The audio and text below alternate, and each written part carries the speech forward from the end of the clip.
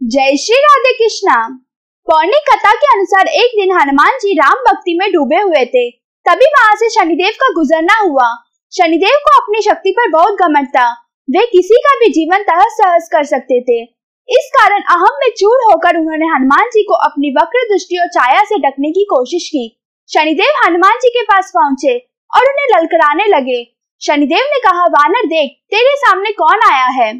शनिदेव काफ़ी देर तक हनुमान जी का ध्यान भंग करने की कोशिश कर रहे थे, लेकिन सफलता नहीं मिली। उन्होंने फिर प्रयास किया और कहा, अरे, ओ वानर, आगे खोल देख, मैं तेरी सुख शांति को नष्ट करने आया हूँ। इस संसार में ऐसा कोई नहीं जो मेरा सामना कर सके। शनिदेव को भ्रम था कि इतना कहते ही हनुमान जी डर जाएँगे और क्षमा याचना करने लगेंगे। लेकिन ऐसा कुछ नहीं हुआ। हनुमान जी ने काफ़ी देर बाद अपनी आँखें खोली और बड़ी विनम्रता से पूछा, महाराज अब कौन है? हनुमान जी की इस बात को सुनकर शनिदेव को गुस्सा आ गया। वे बोले, अरे मूर्ख बंदर, मैं तीनों लोगों को भयभीत करने वाला शनि हूँ। आज मैं तेरी राशि में प्रवेश करने जा रहा हूँ। रोक सकता है तो रोक ले। हनुमान जी ने तब भी विनम्रता को नहीं त्यागा और कहा कि शनिदेव क्रोध न करे। कहीं और जाइए, वहाँ पर अपना पराक्रम दिखाइए। मुझे प्रभु राम का ध्यान करने दें। हनुमान जी ने जैसे ही ध्यान लगाने के लिए अपनी आँखें बंद की, वैसे ही शनिदेव ने आगे बढ़कर हनुमान जी के एक हाथ को पकड़ लिया। और उसे खींचने लगे।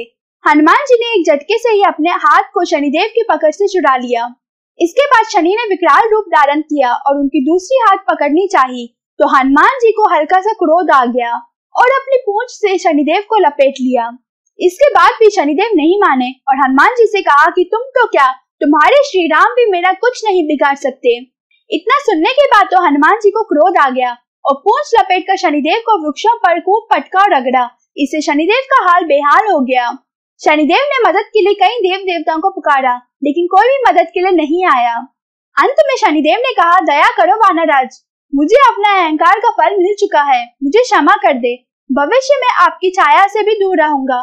तब हनुमान जी बोले, मेरी छाया ही नहीं, मेरे भक्तों की छाया से भी दूर रहोगे।